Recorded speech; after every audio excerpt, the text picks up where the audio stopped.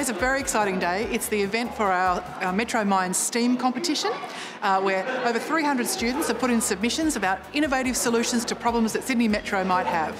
We've designed a completely sustainable station that powers itself when it's off the grid.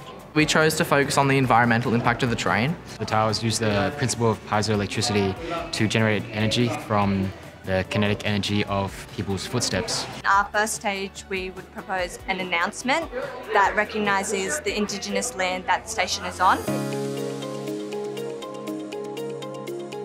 Welcome to Metro Minds STEAM Challenge. Hi everyone, I'm Peter Regan, Chief Executive of Sydney Metro. I'm really excited to hear about your work on the Metro Minds STEAM Challenge. And particularly, congratulations to the five teams that have been selected as our finalists today. It's been absolutely fantastic to see the diversity of students involved and the issues and challenges that they've chosen to focus on.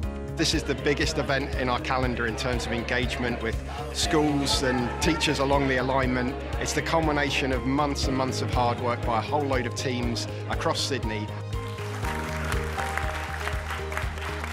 And the winners this year are Our Lady of Mercy College, Parramatta.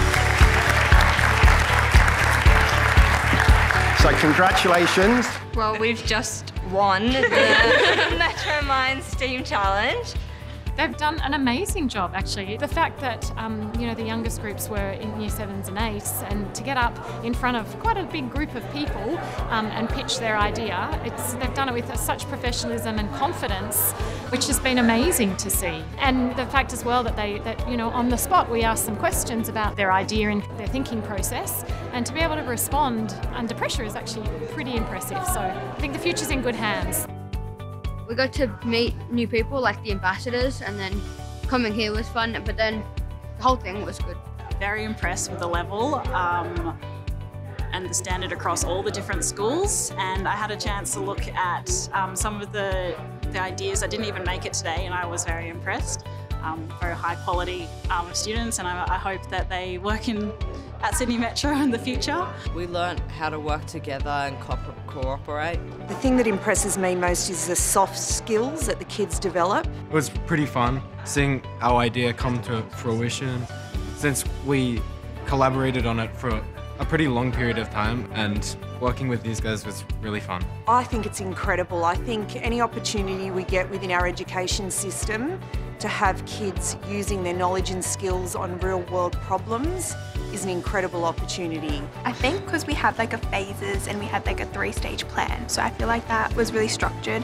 And obviously it's Indigenous about Indigenous people and it's a very like it's a very relevant topic and issue that we, we don't really connect with them that much. So I feel like it's a good step towards that.